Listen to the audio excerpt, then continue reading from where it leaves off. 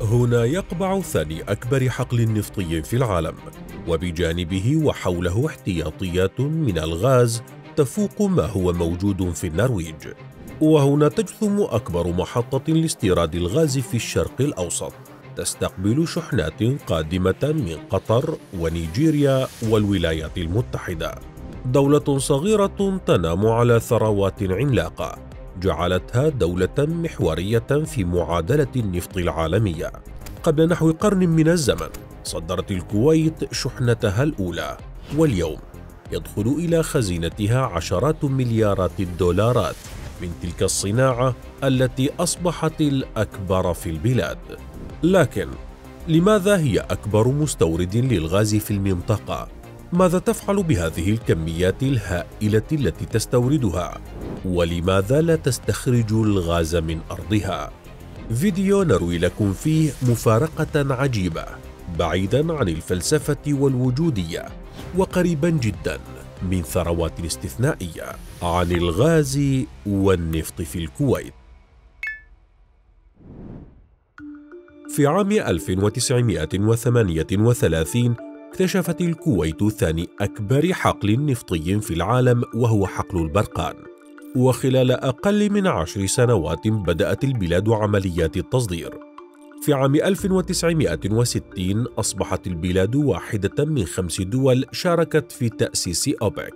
واليوم يمثل النفط ما يقرب من نصف الناتج المحلي الإجمالي وحوالي 95% من الصادرات. باحتياطيات تمثل 6% من قيمة النفط السوقية العالمية أي ما يعادل 100 وملياري برميل وهو سابع أكبر احتياطي. حاليا تبلغ طاقة الكويت الإنتاجية حوالي مليونين وسبعمائة وخمسة آلاف برميل يوميا. ووصلت قيمة صادراتها من هذه السلعة الاستراتيجية في عام 2021 إلى 56 مليارا و540 مليون دولار أمريكي. تدير هذه العمليات بأكملها مؤسسة البترول الكويتية KPC وهي مؤسسة مملوكة للدولة. ما بين عامي 2015 و 2020 أعلنت المؤسسة عن خطط استثمارية بقيمة 115 مليار دولار تقريبا في مجالات عدة منها رقمنة حقول النفط الكويتية للتخفيف من تكاليف عمليات الاستخراج والتصدير باستخدام أحدث التقنيات لمراقبة الحقول والتحكم فيها.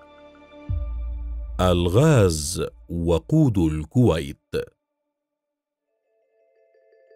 تمتلك الكويت احتياطيات مؤكدة من الغاز تتجاوز ما هو موجود في النرويج. فقد بلغت احتياطاتها من الغاز الطبيعي تريليونا وثمانمائة مليار متر مكعب. لكن بالرغم من ذلك تعتبر البلاد واحدة من أكثر مستوردي الغاز في الشرق الأوسط وشمال إفريقيا.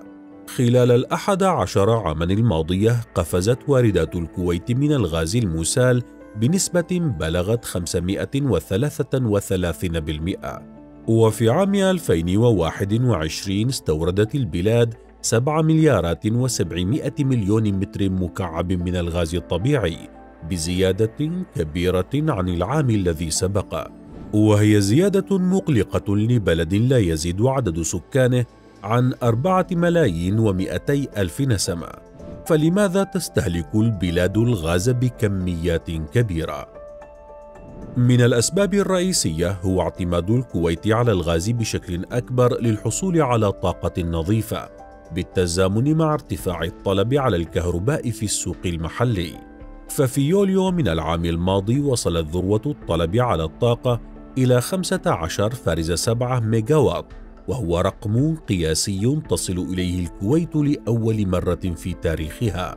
وبحسب هيئات حكومية كويتية فإن استخدام الغاز المسال بدلا من الوقود السائل لتوليد الكهرباء.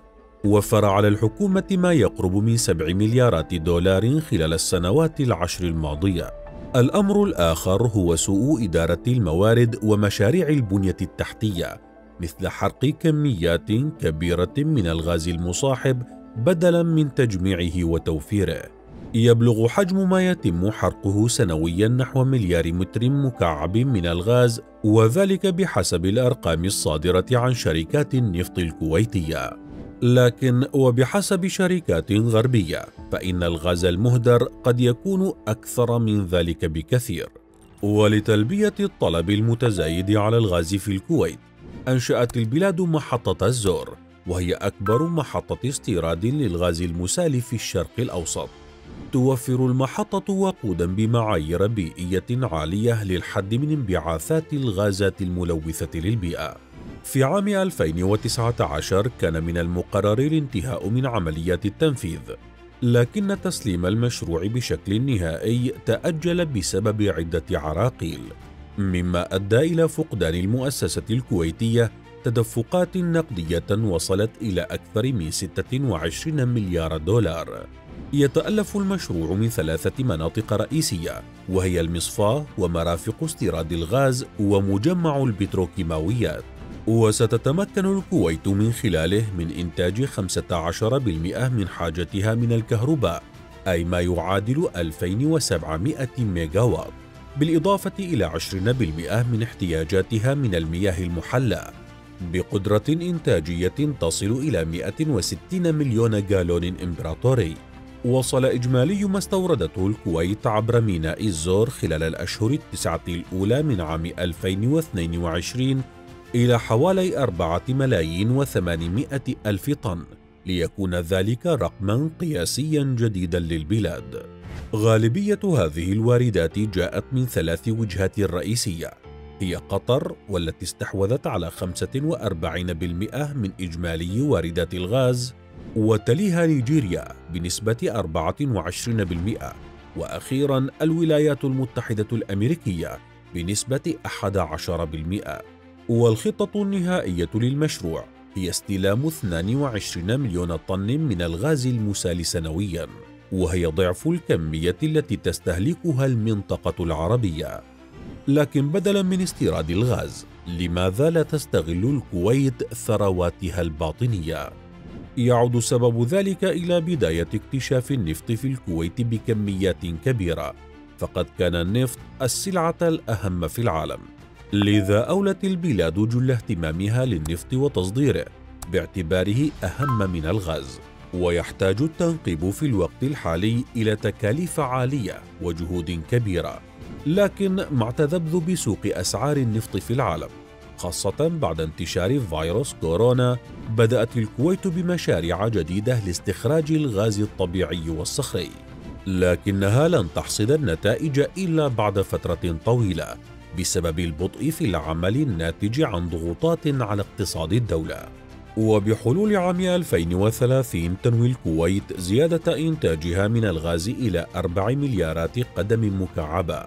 وقبل أيام قامت بتدشين خط غاز استراتيجي بحجم 40 بوصة يربط بين ميناء الأحمد وشمال الكويت وذلك لزيادة الإنتاج وتلبية حاجات السوق المحلي.